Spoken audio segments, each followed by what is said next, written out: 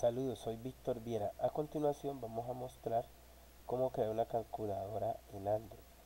Para eso he creado una clase en esta fecha, el autor, eh, calculadora, le entra, eh, tiene dos atributos, A y B.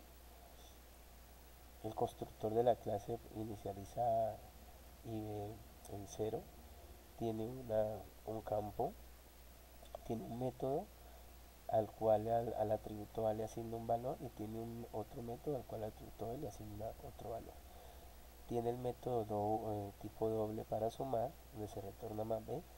Tiene el, restar, multiplicar y dividir.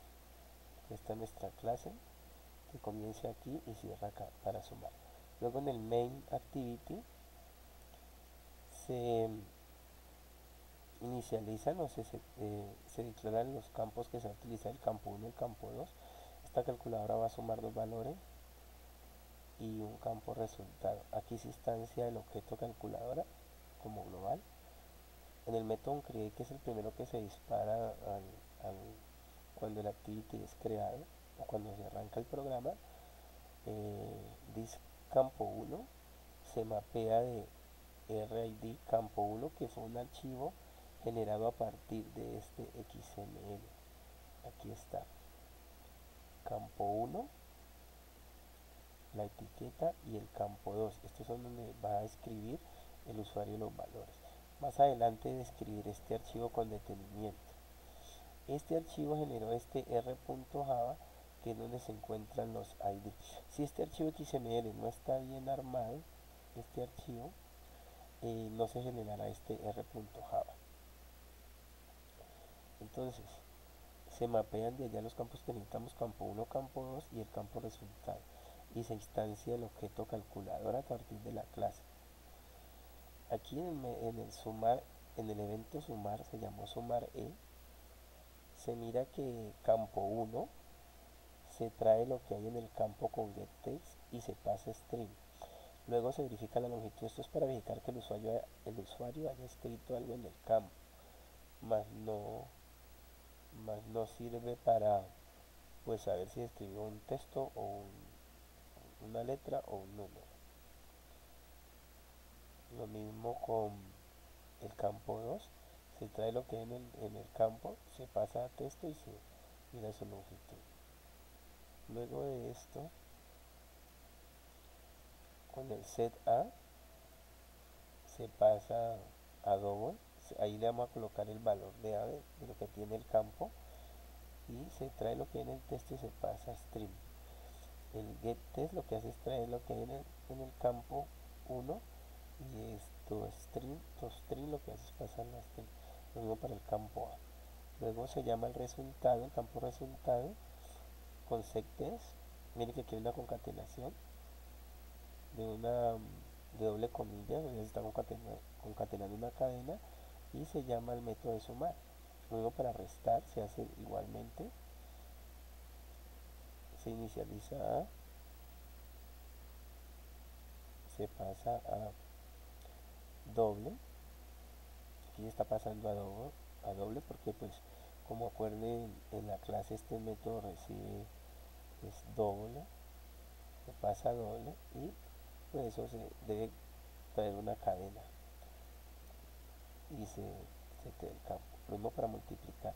¿Por qué se hace en cada método? Porque el usuario puede cambiar, después de hacer una operación, el usuario puede cambiar el valor de los, de los números.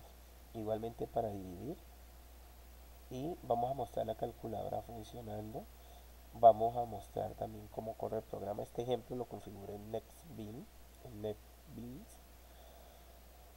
Eh, aquí nos está pidiendo el emulador, nomás la versión de NetBeans primero veamos la versión de NetBeans en esta versión.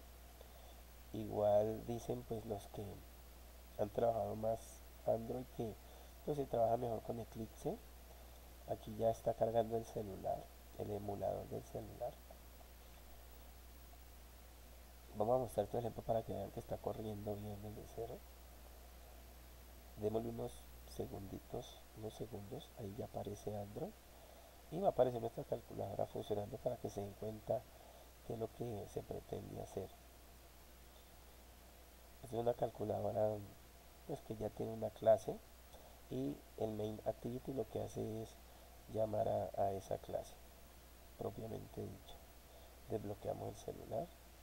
Y que aparece otra calculadora vamos a probar con los números de 5 y el 2 entonces ahí ya la longitud da el más da 7 la suma la resta la multiplicación y la división.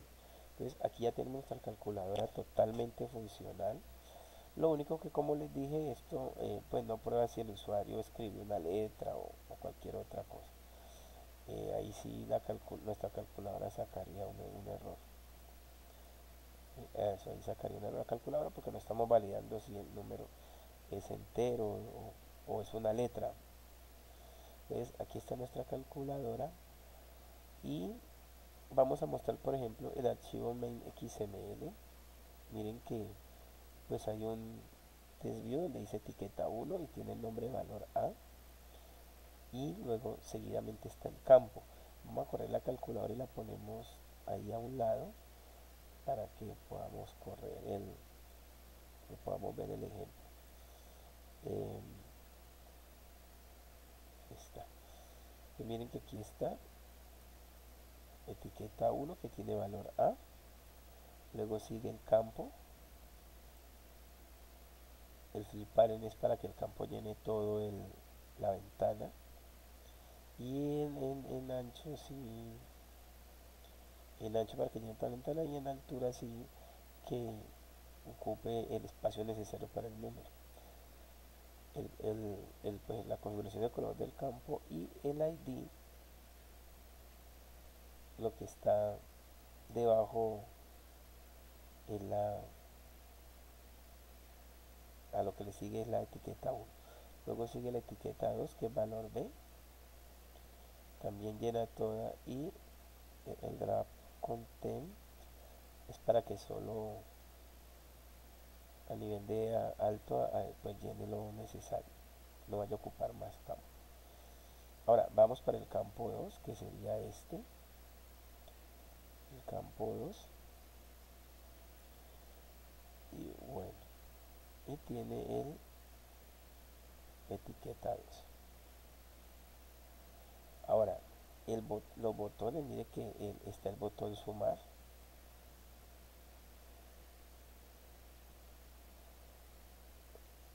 y aquí está la configuración del on click el evento que va a, disparar cuando se dé un clic en este caso sería sumar e que está aquí.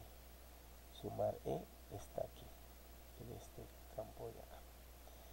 Eh, sigamos viendo el XML como les dije anteriormente este archivo es generado r.java es generado a partir de XML si ese XML no está bien formado no se generaría no se genera este archivo. Como les dije esto este archivo pues se crea mejor en Eclipse porque permite arrastrar elementos de una paleta de objetos. Entonces lo mismo para multiplicar qué objeto tiene al lado restar y, el evento que dispara.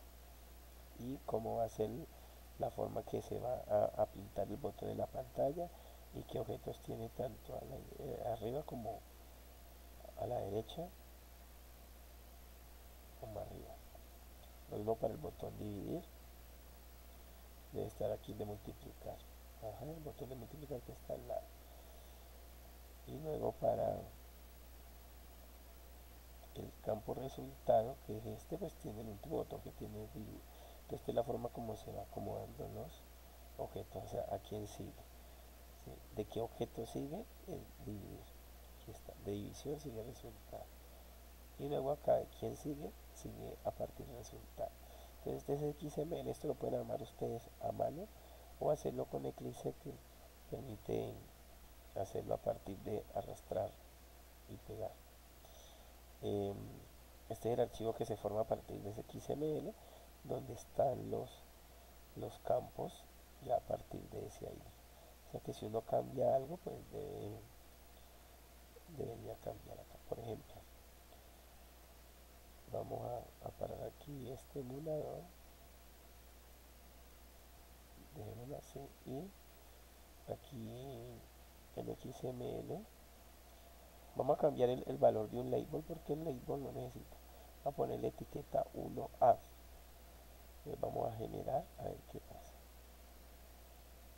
Mire que ahí aquí saca un error porque como es 1A, entonces acá también debe seguir de etiqueta 1A. ¿Quién le sigue? A etiqueta 1. Entonces generémoslo. Y lo que está diciendo es de qué campo, de qué campo sigue, dónde termina el campo, el campo donde termina y este campo seguirá a partir de este. Entonces vamos a generar el XML. Entonces miren, otro error. Aquí ya etiqueta 1A, etiqueta 1A y veamos si hay otra etiqueta 1, 1A. Ah, bueno, acá hay otro error. Por. Ah. Entonces, para, vamos a, a echar esto para que nos deje. Como ya no aparece este porque está mal configurado, vamos a generar. Y hasta que no esté correctamente generado el archivo, entonces aquí tenemos un problema que hay que identificarlo, donde vamos a buscarlo a continuación. Aquí nos falta una E, coloquémosle la E, coloquémosle la E aquí a etiqueta A y tratamos de generar el archivo otra vez. Pueden observar que aquí está aquí está creando el, el R, aquí está generando para el archivo. Entonces ya como ya está bien el XML pues él ya debe haber creado nuestro R.id aquí está. Entonces miren que aquí en este archivo ya aparece etiqueta 1A entonces esa es la forma como se crea este R.java a partir de este archivo main.xml pero como les dije anteriormente con Eclipse es mucho más fácil eh, crearlo. Y este archivo pues sale de forma dinámica a partir del XML bueno el nombre de la aplicación. Repasemos nuevamente calculadora los métodos de calculadora el main activity. Volvamos otra vez a